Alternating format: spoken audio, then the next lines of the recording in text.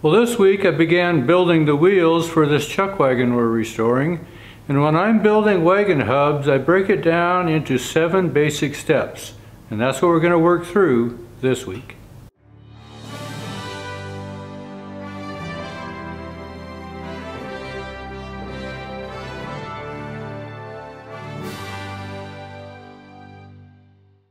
Well, I have a set of ash blocks here that I cured probably 12, 15 years ago. So they're a good choice that I'm going to use for the hubs for these wheels.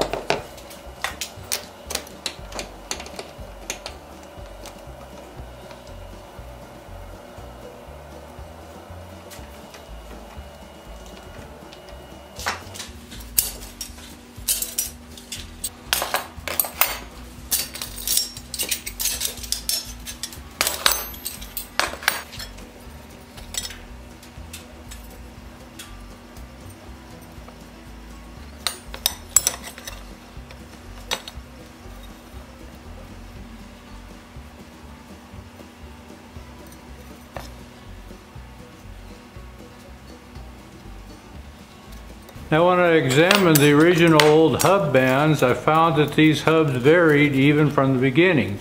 They range from 8 and 1 8 to 8 and 3 8 So the first step is I'm going to take all of these blocks and take them down to a uniform diameter for a uniform set of wheels. So I'm going to use the smallest diameter, 8 and 1 8 and I'll adjust all the hub bands so that they are the same.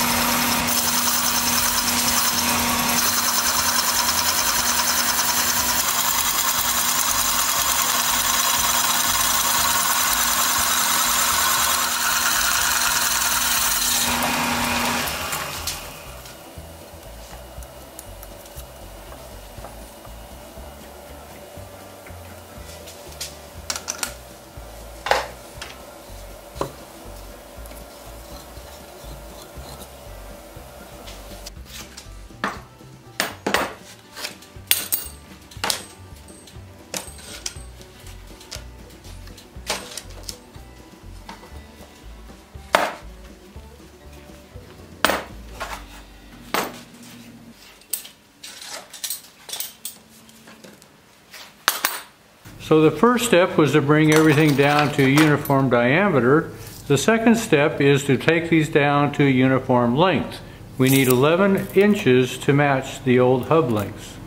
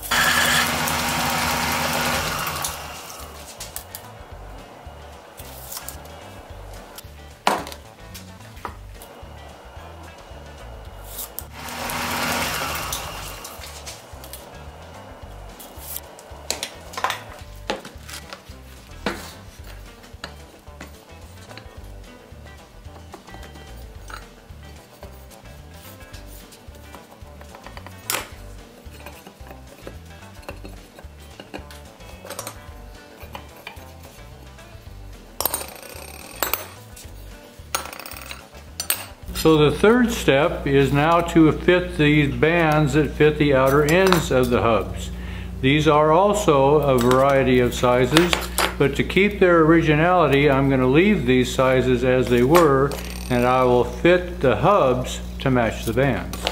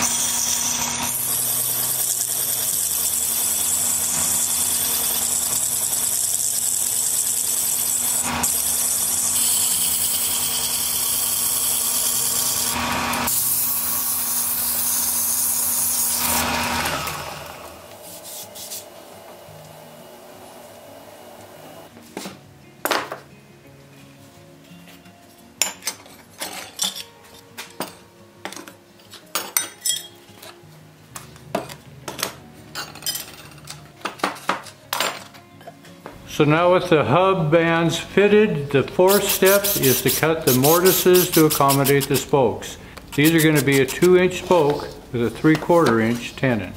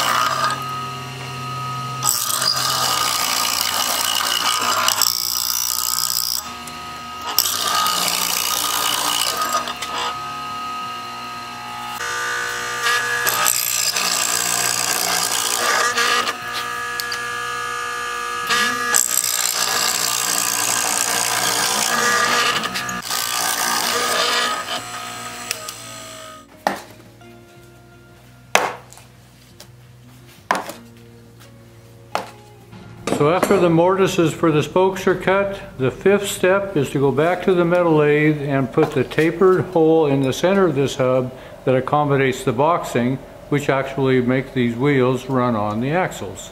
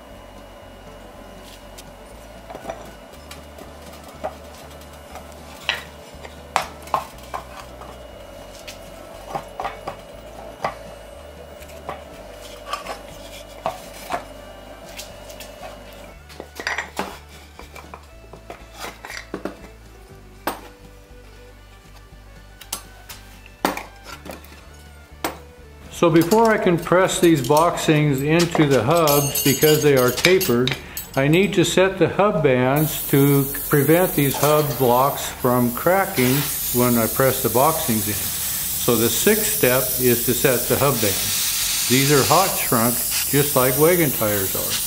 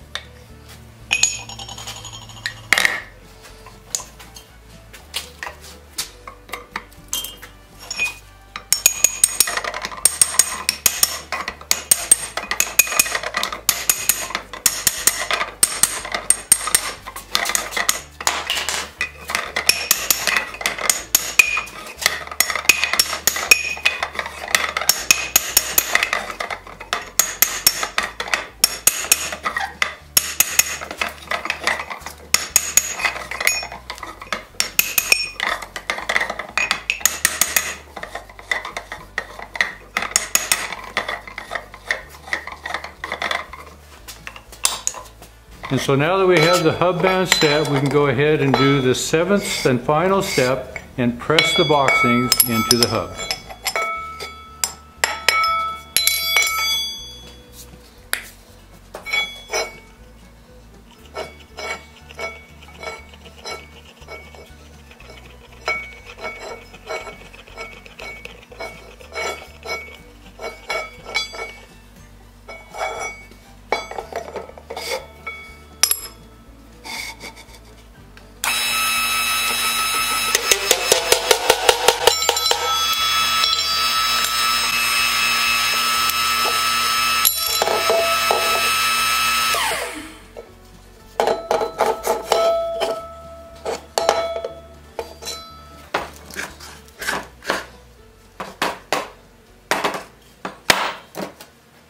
Well, I had hopes that I was going to get all four hubs built this week for these wheels, but I ran out a week before I ran out of work.